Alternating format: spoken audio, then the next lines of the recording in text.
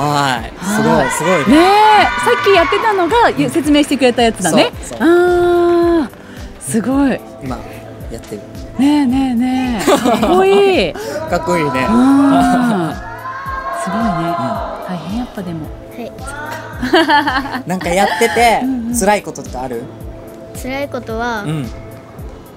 辛いというか失敗したことで、うんうんうん。強いクラブチームにて、やちゃんとやってればできてたことが、うんそのクラブチームでやってなかったから、んできなかったりとかが後悔したりしてます。でもたくさん練習しててもまだちゃんと練習してればってうん。ねなるんだね、えどんだけ練習しなきゃいけないんだろうね。すごいね。いっぱい練習しなきゃいけないんだはい、分かってるんでしょうね。やった分だけうん。こんぐらいの結果が出るっていうのが。そっか。だからでも頑張れたりするのかな。は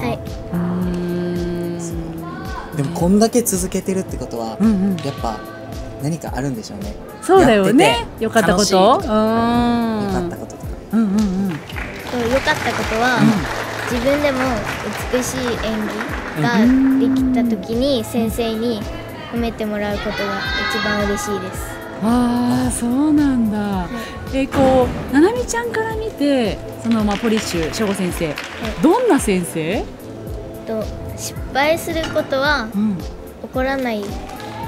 でもやってなかったりとかする時はうんうん。起こります。そうか。そこでもすごい大事だ。チャレンジするのはうんうん。どんどん失敗しなさい。ってそうだよね、いうことです。うんうんうん、ただできるのにやらなかった。りとかチうんャレンジしないっていうことうんうんうんに対してうん。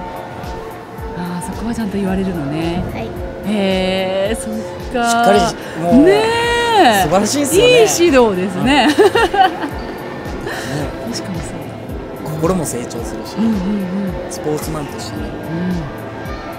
うん。スポーツの技術も成長するし。うんうんうん足腰もうん。ねスラッと伸びて綺麗になるし。う んそうねスタイルも良くなって。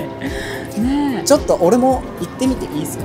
おスラッとなりますか、足をちょっと 行く前の体型とスタイルね。うんうん。で行った後でうん。どう変わりました？うん、ああいいかもね。どういいけそう？はい、本当に？はい、今こうじゃない？綺麗になる？やってれば。おおでも相当厳しいらしいですよそっか、うんやっぱそれね。そうだよね。ちゃんと練習。うんうんうんうん。ら中途半端な気持ちではいかずに。はい。ちょっとじゃあ真剣に言ってみてください。真剣に。本当にオリンピック行くぐらいの気持ちで。一緒にね。うん。うん。えでもなんか近々大会もあるんだよね。はい、どこですか？とカナダでお！大会があります。海外。海外行っちゃう？はおー。え初めて？い、はい、おお体操で海外行けるって。いいね。めちゃうんいいですね。ねえ。結構なんかいろんな大会でもね上位の方にも入ったりとかしてんだもんね、なみちゃんね。うわあ頑張ってほしいね。うん。うん。ますますね。ね。海外行って成長して。うんうん。本当にオリンピックでねね。取るんじゃないですか？おー見たいいつか。ね。えはい、あー頑張ってね。はい、はい最後もう時間がね、うんうん。あれなのでちょっと最後にはい。目標をうん。聞きたいと思います、はい。はい。はい。